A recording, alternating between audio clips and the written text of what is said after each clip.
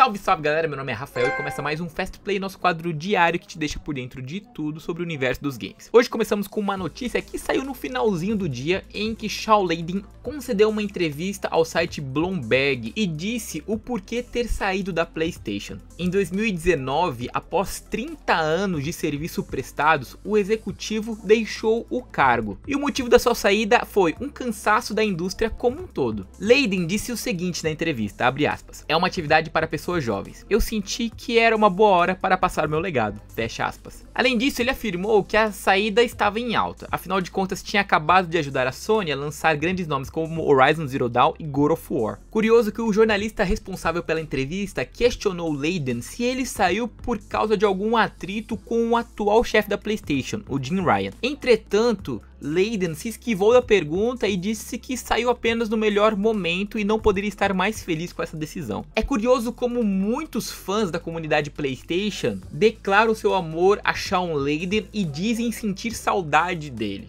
Desde sua saída, muitas pessoas pedem pela volta do ex-executivo e curiosamente ele curte as mensagens e até interage com algumas. Nunca vimos Layden defender algumas das atitudes do Jim Ryan, nunca vimos ele interagindo com o atual presidente da PlayStation. O que levanta essa possibilidade de talvez ter acontecido algum atrito entre os dois executivos. No entanto, aqui não é site de fofoca, aqui não é o meu tititi, aqui é o meu PlayStation, então essas coisas a gente vai deixar de lado, tá bom? Fato é que Layden conquistou o coração dos jogadores porque toda vez que ele chegava para uma apresentação, ele sabia como envolver o público, ele tinha uma boa oratória e sempre trazia surpresas. Como não lembrar daquele momento em que ele subiu ao palco com a camiseta do Crash? Meu Deus, foi eufórico, foi lindo.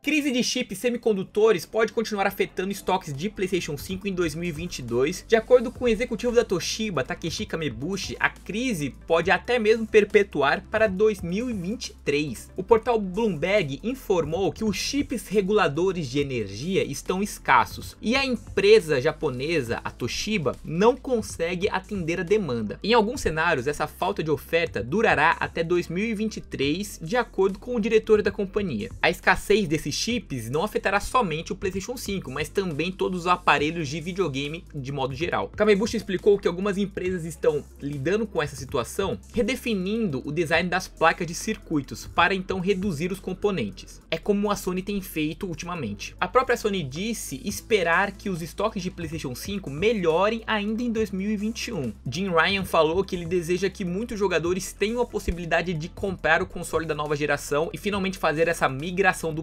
PS4 para o PS5. Aqui no Brasil a gente já percebe que alguns estoques estão durando mais tempo. Lá perto do lançamento do videogame em novembro do ano passado, a gente via que os estoques abriam e esgotavam em poucos minutos. Hoje a gente vê já alguns estoques durando alguns dias, perpetuando com algumas poucas unidades. A tendência é que haja mais unidades conforme a pandemia vá diminuindo e também conforme os jogadores vão adquirindo os consoles. E bem, a galera vai ter no console, vai ter no videogame, não precisa mais ter esse desespero todo para adquirir logo o seu.